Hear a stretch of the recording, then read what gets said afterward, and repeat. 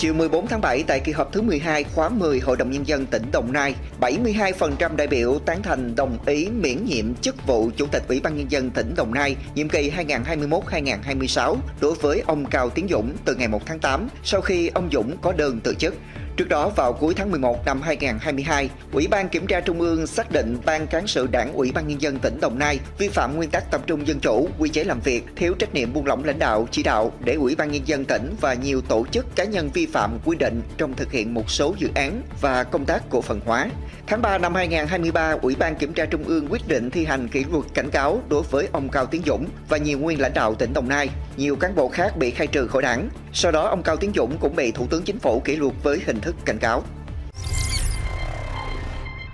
Ngày 14 tháng 7, Ủy ban Nhân dân huyện Tân Hưng, tỉnh Long An cho biết đã quyết định đình chỉ công tác đối với ông Nguyễn Văn Thắng, Phó Chủ tịch Ủy ban Nhân dân xã Vĩnh Đại, do ông Thắng có liên quan đến vụ làm giả giấy tờ để hợp thức hóa xe nhập lậu. Khi tiếp nhận thông tin vụ việc, Ủy ban Nhân dân huyện Tân Hưng đã ra quyết định đình chỉ công tác và tạm thời phân công người khác phụ trách lĩnh vực ông Thắng phụ trách tại Ủy ban Nhân dân xã Vĩnh Đại. Đồng thời ông Thắng bị đình chỉ sinh hoạt đảng để chờ kết quả điều tra của cơ quan chức năng.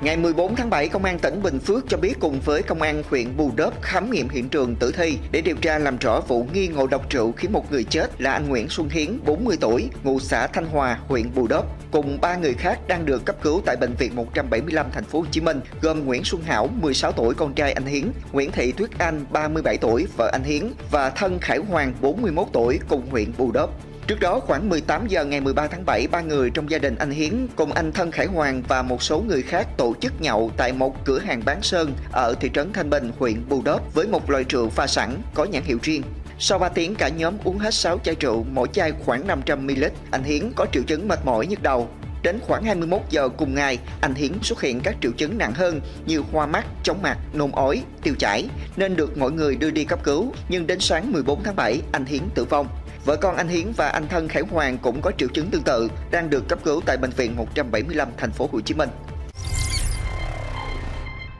Ngày 14 tháng 7, Tòa án Nhân dân tỉnh Đắk Lắk mở phiên xét xử sơ thẩm vụ án hình sự đối với bị cáo Nguyễn Hữu Tuyến, 33 tuổi, trú phường Ea Tam, thành phố Buôn Ma Thuột, tỉnh Đắk Lắk về tội giết người. Theo cáo trạng từ năm 2014, Tuyến và chị T, 32 tuổi, sống chung như vợ chồng và có với nhau hai người con. Quá trình sinh sống, hai người thường xuyên xảy ra mâu thuẫn do Tuyến nghi ngờ chị T ngoại tình. Tối 20 tháng 1, Tuyến đến tiệm tóc ở đường Lê Duẩn, phường Ea Tam, thành phố Buôn Ma Thuột để đón chị T nhưng không thấy, liên lạc qua điện thoại không được nên Tuyến lên xe máy đi tìm. Đến khoảng 21 giờ cùng ngày, Tuyến thấy một người đàn ông chở chị T đi trên đường nên đuổi theo nhưng không kịp. Tức giận, Tuyến về nhà lấy một con dao và tiếp tục đi tìm chị T.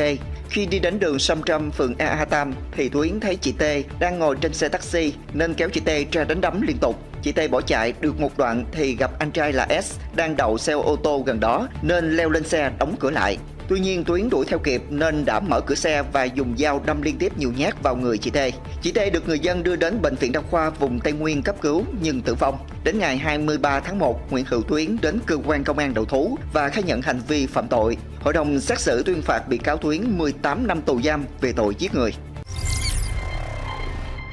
Ngày 14 tháng 7, cơ quan cảnh sát điều tra công an huyện Tân Phước, tỉnh Tiền Giang khởi tố 35 thanh niên, trong đó bắt tạm giam 11 thanh niên về tội gây rối trật tự công cộng, gồm Lê Quốc Trường 17 tuổi, Nguyễn Minh Nhật 18 tuổi, Nguyễn Quốc Thái 19 tuổi, Phạm Thành Long 18 tuổi, Nguyễn Lâm Chí Vũ 21 tuổi, Lê Hoàng Phúc 18 tuổi, Lê Nguyễn Vũ Luân 20 tuổi, Võ Hữu Nhân 19 tuổi, Võ Thanh Nhàn 18 tuổi, Đặng Gia Khang 20 tuổi, Đỗ Văn Phú 19 tuổi, ngụ các huyện Châu Thành, Tân Phước, thị xã Cây Lậy và thị xã Gò Công. Theo điều tra ban đầu, Huỳnh Nhật Trường 17 tuổi ở xã Nhị Bình và Nguyễn Văn Khánh Duy 18 tuổi ở xã Điềm Hy cùng ở huyện Châu Thành xảy ra mâu thuẫn, thách đánh nhau trên Facebook. Ngày 12 tháng 4, Trường và Duy hẹn đánh nhau lúc 21 giờ tại cầu sao thuộc huyện Châu Thành, nhưng vụ việc không xảy ra. Sau đó Duy và Lê Quốc Trường nhắn tin điện thoại trên Facebook thách thức đánh nhau với Nhật Trường và Lê Quốc Dương 21 tuổi ở xã Nhị Bình, huyện Châu Thành. Đến ngày 17 tháng 4, Quốc Trường và Dương nhắn tin hẹn nhau lúc 22 giờ đánh nhau tại cầu vượt cao tốc thuộc địa bàn xã Phước Lập, huyện Tân Phước. Sau đó cả nhóm mang hung khí di chuyển trên một số tuyến đường thuộc huyện Tân Phước và huyện Châu Thành, gây mất trật tự rồi giải tán. Cơ quan cảnh sát điều tra công an huyện Tân Phước thu giữ nhiều hung khí, xe máy và điện thoại di động của nhóm thanh niên.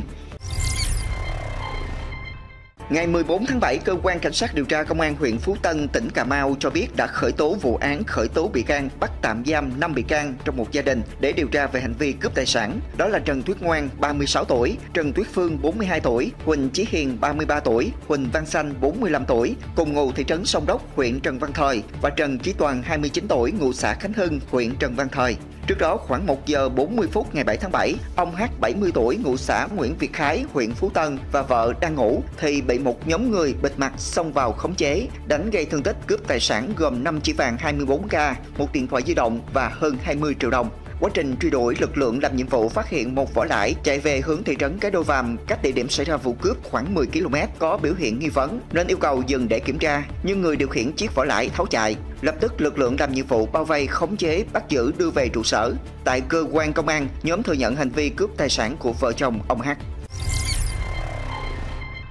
Chiều 14 tháng 7, Tòa án Nhân dân thành phố Hà Nội tuyên phạt bị cáo Phạm Thị My, 60 tuổi, mức án 13 tháng 4 ngày tù bằng thời gian tạm giam về tội lợi dụng chức vụ quyền hạn trong khi thi hành công vụ. Cùng tội danh bị cáo Bùi Văn Sâm, 74 tuổi, lãnh mức án 12 tháng, cải tạo không giam giữ. Theo cáo trạng, bị cáo Sâm là tổ trưởng và bị cáo My là tổ phó, được phân công tham gia xây dựng ngân hàng câu hỏi thi và hội đồng tra đề thi môn sinh học. Năm 2021, bị cáo My và Sâm lợi dụng việc được giao đưa tài liệu về nhà biên soạn thành câu hỏi, sau đó sắp xếp vào các vị trí để được rút ra làm nguồn đề thi chính thức, đồng thời định hướng chọn các tổ hợp câu hỏi do mình biên soạn để xây dựng thành đề thi chính thức. Cả hai còn dùng câu hỏi làm tài liệu ôn thi cho 8 học sinh có mối quan hệ họ hàng thân quen. Cáo trạng xác định đề thi chính thức kỳ thi Trung học phổ thông năm 2021 giống với các câu hỏi do hai bị cáo soạn thảo, biên tập từ 70 đến 95%. Sau khi xác minh ngày 10 tháng 6 năm 2022, cơ quan an ninh điều tra Bộ Công an đã khởi tố hai cựu giáo viên Bùi Văn Sâm và Phạm Thị My. Ngày 14 tháng 7, cơ quan an ninh điều tra công an tỉnh Long An cho biết đã ra quyết định khởi tố bị can, áp dụng biện pháp ngăn chặn bằng lệnh cấm đi khỏi nơi cư trú đối với Giao Thi Tra 40 tuổi, thường trú huyện Tịnh Biên, tỉnh An Giang, tạm trú huyện Đức Hòa, tỉnh Long An để điều tra về hành vi tàn trữ trái phép vũ khí quân dụng. Trước đó tại xã Mỹ Hạnh Nam, huyện Đức Hòa, tỉnh Long An, đối tượng Giao Thi Tra có hành vi sử dụng súng quân dụng trái phép đe dọa người khác. Cơ quan cảnh sát điều tra công an huyện Đức Hòa đã tiến hành vào cuộc xác minh, qua đó đã phát hiện Châu Thi Tra có tàn trữ một khẩu súng là vũ khí quân dụng.